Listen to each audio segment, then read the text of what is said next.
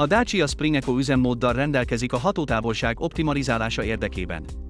A bekapcsolásához nyomja meg ezt a gombot. Ilyenkor az Eco visszajelző lámpa világít a kijelző egységen. A funkció azonnal működésbe lép a gépkocsi minden energiafogyasztó rendszerénél.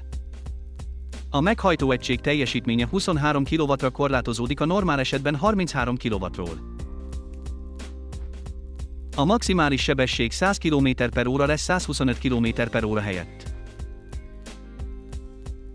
Az Eco üzemmód a kormányszervót és a légkondicionáló rendszert is érinti.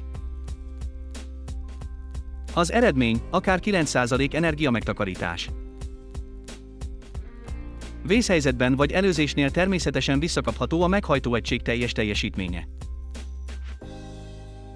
Csak nyomja le határozottan és teljesen a gázpedált, az Eco üzemmód ekkor kikapcsol. Az Eco üzemmód újra aktiválódik, amint felengedi a gázpedált.